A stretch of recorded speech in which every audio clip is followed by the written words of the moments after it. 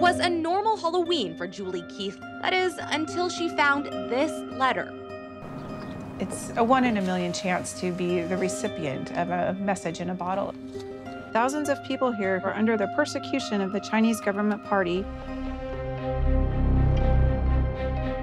We start in China, where some big reforms have been announced. It seems that they are going to, quote, abolish uh, the re education through labor system.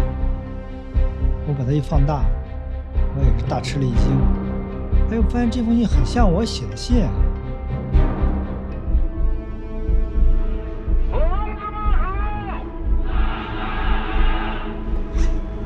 我呢，希望用影视的方式揭露马三家劳教所的邪恶。如果他要出京，跟分局联系。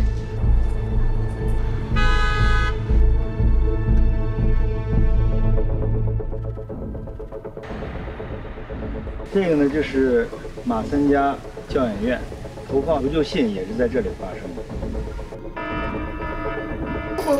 我们当时心里非常恐怖，这个感受就是五马分尸那感觉。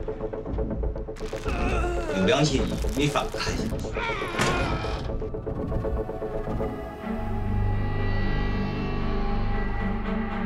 我妻子告诉我，家已经被抄了。他们在抓捕我。干嘛呢？你说呢？